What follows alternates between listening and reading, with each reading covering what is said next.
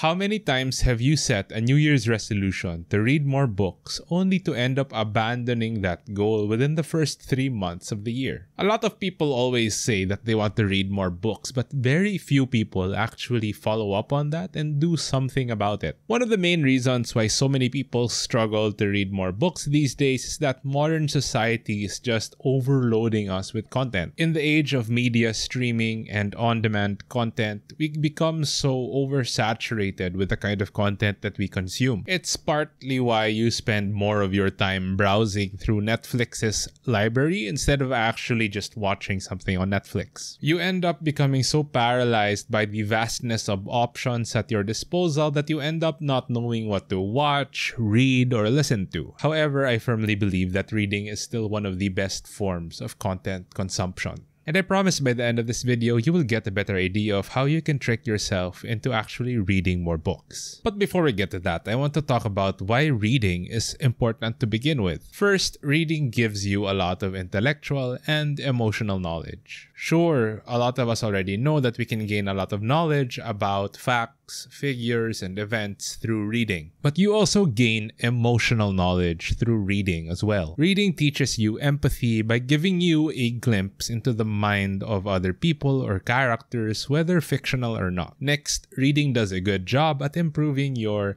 literacy and your vocabulary. This can particularly come in handy if you're a professional writer like me. I always tell beginner writers that the best way to get better at writing is to read more. Reading not only teaches you the nuance of language, but it also helps you unlock the secrets of effective communication. Reading trains you to be able to communicate your thoughts more clearly and more succinctly. So you end up getting better at conversing and expressing yourself to the people around you. I never find it difficult to express myself like this on camera or to other people in the middle of a conversation because I have a solid background in reading. Lastly, reading is training for your mind. We're taught to engage in regular physical exercise like running, swimming, biking, or weightlifting because it's good for your body. The same principles apply to reading as well. When you read, you are stimulating your brain and you're strengthening that organ. This will help maintain your cognitive function as you get older, and studies have even shown that constant reading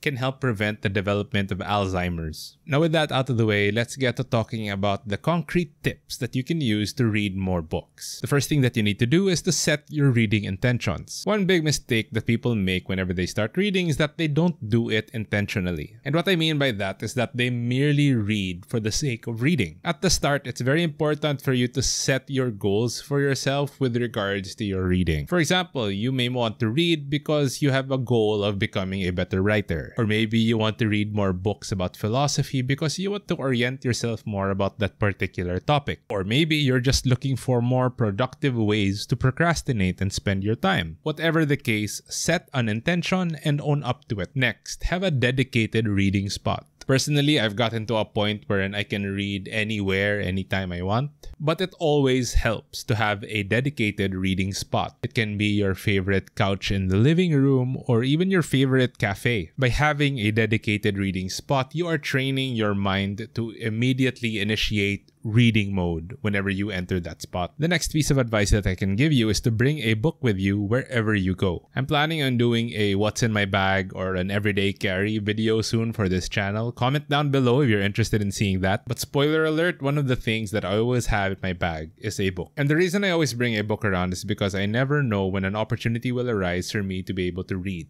Maybe you're waiting at the doctor's office for an appointment. You could use that extra time to read and be more productive. I'm actually thinking about getting a Kindle because it would be a lot easier to bring around. People who have a Kindle out there, let me know what your experience is like. I'm genuinely curious. But yeah, it always helps whenever you're bringing your book around. And for my next hack, listen to audiobooks. As I've talked about on my channel before, I like to go running. But whenever I run, most of the time I'm either listening to a podcast or I'm listening to an audiobook. That way I'm killing two birds with one stone by strengthening my body and my mind at the same time. Audiobooks are also great if you drive every day and if you find yourself stuck in traffic a lot. You'd be surprised at how many books you could get through if you just use your driving time to listen to audiobooks. Now for my next tip, it might not necessarily be applicable to everyone, but it really works for me. And I think it's important that you write your reviews or reflections on a book after you read it. Side note, it was this habit that actually led to me creating my podcast, Fiction Friends. It's a book review podcast. Follow us, subscribe to us on Spotify, Apple Podcasts, Google Podcasts, or wherever you listen to podcasts. Now, ultimately, writing reviews for the books that I read made me internalize what I was reading better. They gave me a chance to have a better appreciation of what I was actually reading. For my next tip,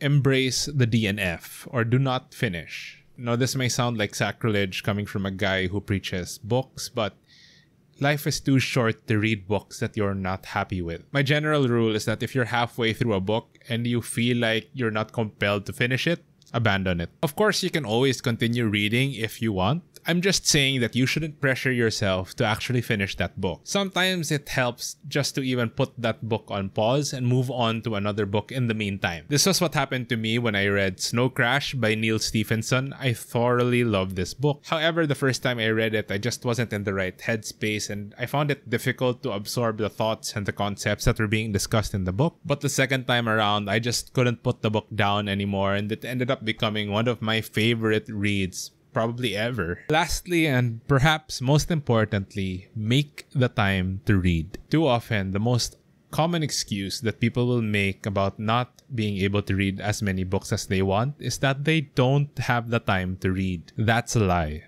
You always have the time. If you have the time to browse through social media for two hours every day, then you have the time to read a book. It's not that you don't have the time to read, it's just that you're choosing to prioritize other things in life more. So don't make it a habit of saying that you don't have the time to read. Instead, say that you will make the time to read. I personally like to read right after my morning runs every day, right before I get to work, and then I'll read a little bit more just before I go to bed. Those are my dedicated reading time slots. If you're just a beginner, then start out by dedicating just 30 minutes of uninterrupted reading every day. That can really go a long way in helping you get through your book list. Then, once you gain a better proficiency at reading, you can ramp it up to one hour or maybe even two hours every day. And that, my friends, is how I managed to read 100 books in one year. And I'm pretty sure if you employ the same tips, you'll be able to do the same. If you enjoyed the contents of this video, please do like and subscribe to my channel. Also, comment down below. I'd love to hear your thoughts and opinions. If you want me to do more book related content, let me know. I love talking about books and I can spend hours every day of just talking about books. But yeah, that just about does it for this video. Thank you guys for watching all the way through. I'll see you guys around again soon.